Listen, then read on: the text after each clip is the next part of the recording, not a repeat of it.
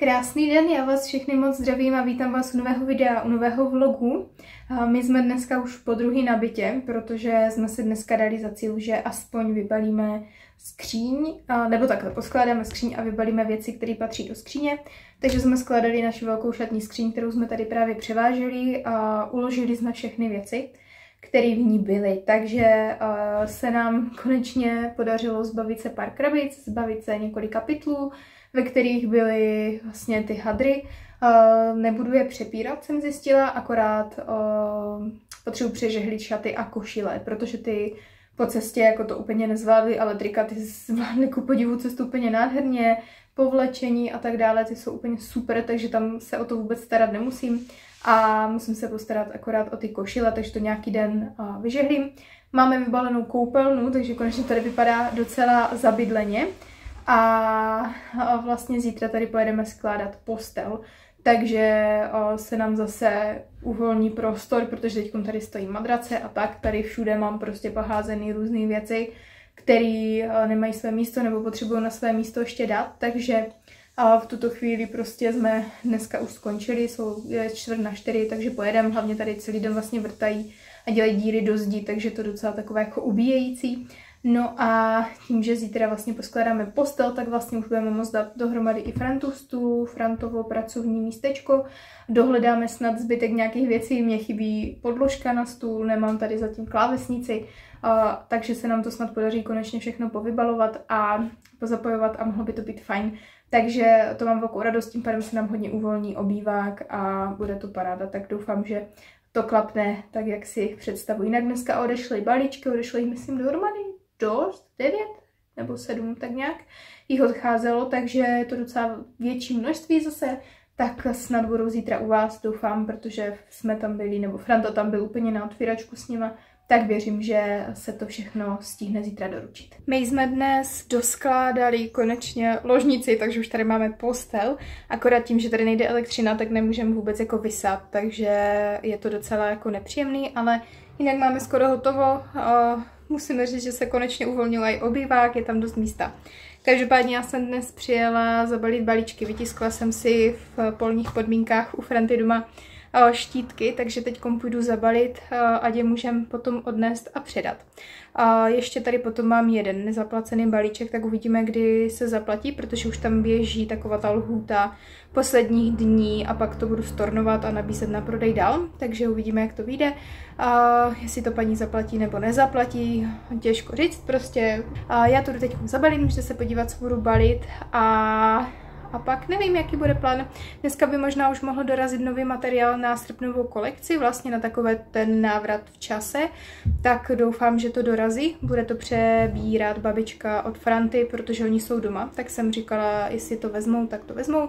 Takže by to tam dnes mělo být. Psali mezi 10, 9.40 a 11.30, nebo tak nějak tam měli čas, takže doufám, že to teď dorazí. Momentálně je 10.32, takže mají asi zhruba ještě hodinku na to, aby s tím dojeli a já pak musím vymyslet nějaký plán, jestli to budu tento týden nebudu vůbec motat, když nebude ta elektřina, anebo jestli si stroj vezmu k ním a začnu motat tam. To musím ještě promyslet. Nejsem si tím jistá a tím, že tady nejde elektřina, tak nemám ani postříhaný videa, nemám hotový náhledy, tak nevím, jak to vymyslím z vlogy, jestli třeba teď nebudou vycházet nějak jenom jednou týdně a dokud se do toho zase zpátky nedostaneme a nedořešíme to tady, abych na to měla v klidu čas. Každopádně teď jdeme balit klubička.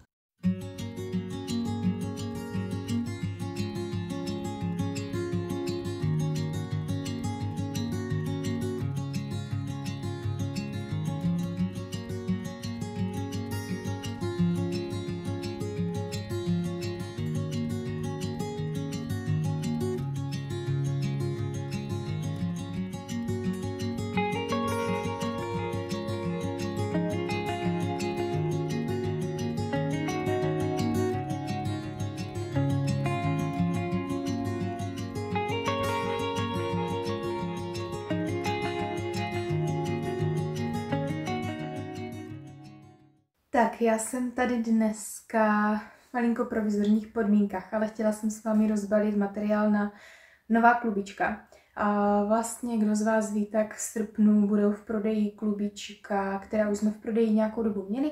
Byly v prodeji třeba před nějakou dobou. Konkrétně půjde o klubičku Copacabana. To bylo v prodeji, tuším, v únoru letošního roku, únor 2024. Potom Groot, ten byl na podzim 2023, ale nechci úplně nějak zavádět, ale myslím si, že to bylo září. A potom bude v prodeji Hortenzie a ta byla v prodeji teďkom, tuším, v květnu, asi v květnu nebo v červnu. Takže jsou to tak různě starý klubička, nabízela jsem možnost i starších klubiček i z roku 2022, ale v podstatě se potom neodhlasovali, takže to nakonec dopadlo tady u těchto třech, který jste si na Facebooku vyhlasovali. Takže pokud třeba se chcete časem zapojit do nějakého dalšího hlasování, nějakých starších klubek, doporučuji mrknout se na Facebook, sledovat to tam, jmenuje se to klubička s láskou by Nicole a tam je vyberete. Já jsem si teda už krabice rozlepila, ale vevnitř jsem nebyla, nebyla jsem mi to vybalovat, takže se budeme společně tak nějak podívat, co se tam skrývá, jelikož jsem objednávala, tentokrát to není žádný překvapení, co jsem objednávala, neměly by nás žádné barvy překvapit. Jediný, co, tak musíme zkontrolovat všechny počty, protože minule vlastně v objednávce mě neposlali úplně kompletně vše. Takže je potřeba to pěkně zkontrolovat. No a já se pak budu moct pustit už do motání aspoň prvních z nich, protože vlastně už je půlka července za námi a já nemám vlastně hotový žádný uh, klubičko. Tak, tady nahoře se nachází pár šedých odstínů. Jsou tady nějaký světlejší, nějaký tmavší. A tohle je lunár, ten je stříbrný, ten je do té Copacabany. Potom tady mám lunár modrej, je do té hortenzie. No a pak jsou tady hnědý barvičky, takže jedna hnědá. Druhá to je úplně stejná, tu jsem brala vlastně víckrát. A potom tady je taková tmavě šedá. Já to jdu vybalit a mrknem se na druhý patro. Tak, ve druhém patře jsou tady nějaký fialový odstíny, ty budou určitě k hortenzí, nemají být k čemu jinému. Je tady žlutá, ta je určitě stoprocentně na gruta, ta totiž kopakabáně není a co jediný se takhle dělí, jsou ty hnědý, ty jsou některý do kopakabány a některý do gruta, plus modrý, ty jsou taky do hortenzie, takže Tady je ve druhém patře takový hodně velký mix, ale myslím si, že budou z toho klasický klubka. Jediný, který bude teda jiný, je Groot, protože to jsem odebírala tenkrát ještě od jiného dodavatele, takže tam eh, došlo k záměně barev, jo, úplně kompletně všech barev, protože se jim žádné barvy neschodují.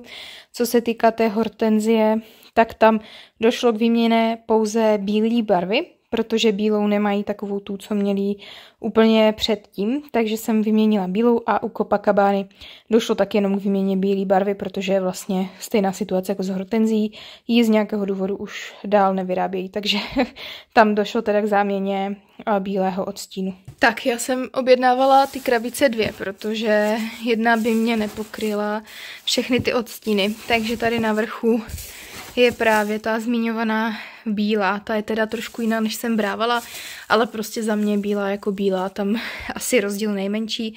Pak světlé modroučky, ty jsou stoprocentně uh, hortenzie a tahle hnědá, to bude podle mě Groot, uh, protože ta je taková světlejší, ale ona se tam hodně ty barvičky shodovaly mezi Grootem a Copacabánou. Takže tak vybalím to a ukážem si, co mám ještě v druhém patře, protože nám ještě celkem chybí nějaký barvy, hlavně ty šedý. No a tady druhý patro je rozhodně hodně Copacabány i Gruta.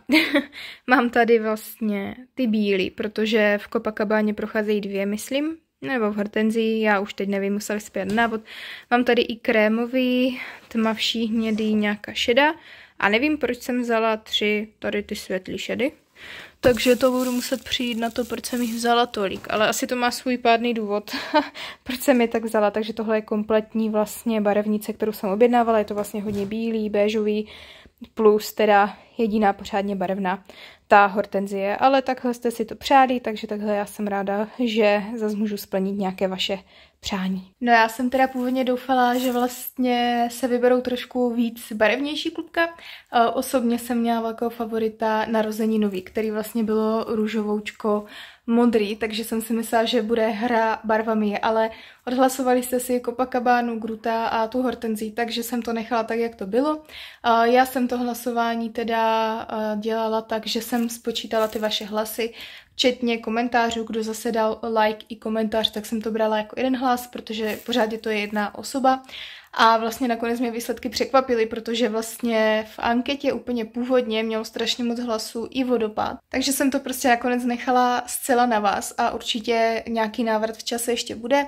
Teďkom do konce roku už si nemyslím, že bychom se k návratu úplně dostali. Mám totiž nějaký plány něco, co bych jako chtěla umotat, ale je tam hodně nápadů a málo času, takže něco z toho budu muset zase odsunout. I když některé ty nápady už si vlastně schovávám od loňského léta, protože jsem myslela, že to bude na léto perfektní, ale vždycky se najde něco, co mi to předčí. Takže uh, nad tím hodně uvažuju, co teda vymyslím, ale byla bych ráda, kdybych teď uh, do další kolekce za, právě jakoby dostala zase třeba fialovou barvu, dostala bych tam třeba růžovou, protože dlouho jsme neměli nic jako zjemnější, fialkovou, jemnější růžovou, nebo nějaký takový pastelkovitější barvy.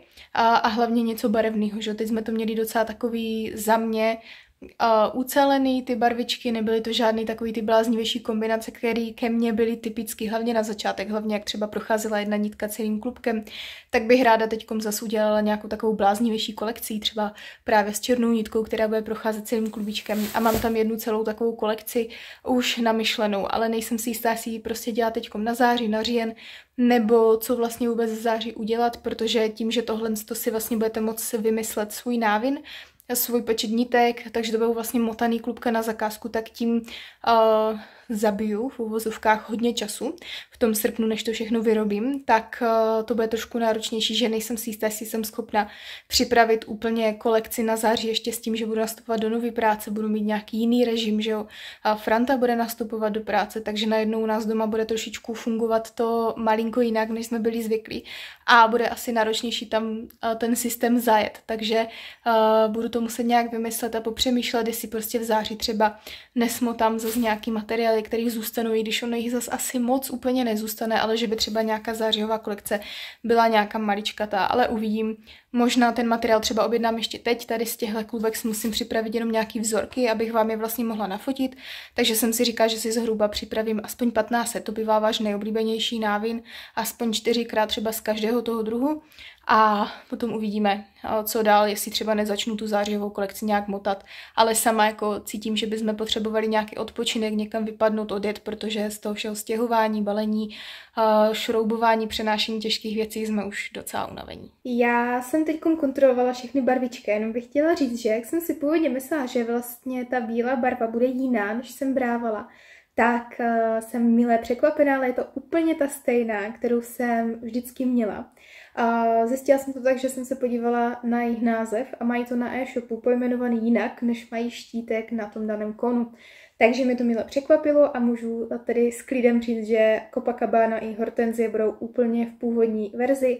Bude tedy možno je zcela kombinovat. Pokud někdo z vás třeba má doma tisícovku, bude potřebovat ještě tisícovku a nebude vůbec žádný problém, protože by to opravdu mělo být stejný s tím, co já jsem teda měla předtím. Takže mi to milé překvapilo, milé mě to potěšilo, mám z toho radost a, a pro příště vím, že vlastně ten název na e-shopu je jiný než tady ten, ale fyzicky vlastně budu mít mít úplně tu stejnou barvičku, takže jsem ráda a jediný vlastně, co teďkom se bude měnit, bude ten grud, protože tam teda já jsem měnila dodavatele materiálů. Za prvý mě tady ten dodavatel vyhovuje v tom, že Uh, vidím jeho skladový zásoby, vidím, co má skladem, co nemá skladem, takže to s ním nemusím komunikovat. Uh, vlastně objednávám to skrz systémový e-shop, a nemusím přes maily, protože to předtím vlastně jsem komunikovala skrz e-mail, takže jsem vždycky napsala, co chci, na to oni mi odepsali, že třeba tohle nemají, ale ten zbytek můžu odeslat.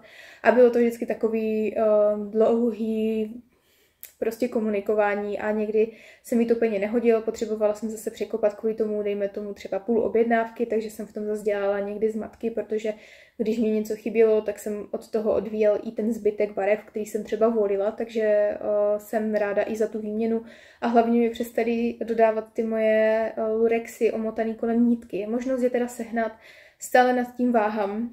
Prostory už by teď byly, ale finančně nejsem si úplně jistá, jestli by bylo, bych byla schopná jako zaplatit úplně 100 kg materiálu jenom jedné barvy, který prostě bych spotřebovala strašně dlouho, takže nad tím hodně přemýšlím, mě osobně ty nítky totiž hrozně chybí, tak to hodně zvažuju a zároveň by se mi hodně hodily do jedné kolekce. Každopádně to musím promyslet, ještě nad tím zauvažovat, záleželo by i za jak dlouho by to třeba dodali a hlavně jako nejsem si pořád stále jistá tím, jestli bychom to měli úplně kam složit. Takže já se s vámi každopádně pro tohle video rozloučím, mějte se zatím moc hezky a příště se na vás budu těšit s motáním klubiček, tak schválně, kterým si myslíte, že začnu. Mějte se hezky a vidíme se příště. Ahoj!